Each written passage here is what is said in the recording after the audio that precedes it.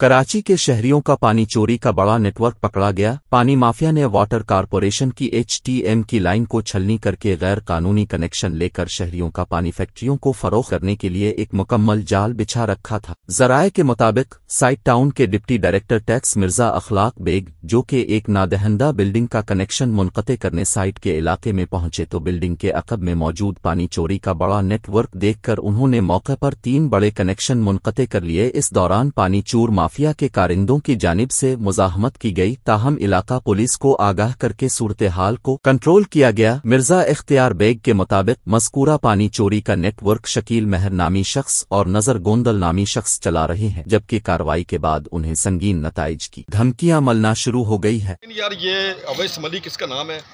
ये focal person कह रहा है अपने आप को साइड एसोसिएशन का।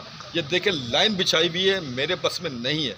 ठीक है, मैं इस बिल्डिंग का कनेक्शन काटने आया था, ये बिल्डिंग बिल्डिंग काट कर रहा हूँ, मैं ये काटने नहीं आया था, ठीक है ना? जब मैं जब मैं पीछे आया हूँ तो मुझे पता चला ये सब कुछ हो रहा है। ये मुझे मुझे पता है, बाहर निकलने नहीं देंगे मुझे। मैंने पुलिस बुला ली है, ठीक है ना? उसके बाद मैं कार्रवाई कर ये ये देखें, लाइनें कहाँ तक बिछाई।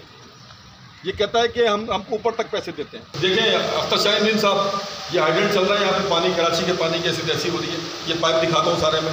मैं इस पर कार्रवाई कर रहा हूँ, ये पाइप सारे दिखाता हूँ। आप ये देखिए, ये क्या हो रहा है यहाँ पे? ये कितनी लाइन है? ठीक है? ये कितनी लाइन है यहाँ पर चल रही है? ये इस पर कार्रवाई करने में आया हूँ। और लॉ एंड ऑर्डर का मसला है, मैंने पुलिस बुलवाई है यहाँ पर ठीक है ना?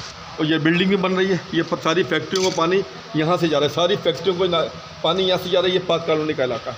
देखिए, ये पाक कॉलोनी के अंदर दूसरा एजेंट है। ये कराची का पानी कराची वालों को नहीं मिलेगा तो किसको मिलेगा? मैं इसको काटने की कोशिश कर रहा हूँ या लॉ मुझे बाहर निकलने नहीं दिया जाएगा मुझे पता है।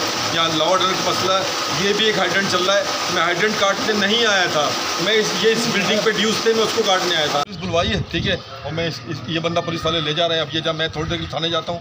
मैं एफ़ नहीं कटाऊँगा अगर एमडी साहब मुझे इजाज़त देते हैं तो मैं इनकी एफ़ कटा देता हूँ। लेकिन ये एक नहीं है सौ से ज़्यादा है यहाँ पर। दो मैंने काट दिए। मैं आप लोगों से कहता हूँ कि मुझे मेरी हेल्प करें एक हाइडेंट नहीं चल रहा।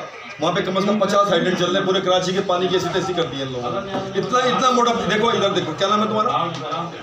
इरफान, मैंने इतना मोटा, देखो वीडियो देखो, इतना मोटा पानी काटा है। ये आपका मेरा पानी छुड़ा रहे हैं, ये अरबों रुपए का पानी छुड़ा रहे हैं।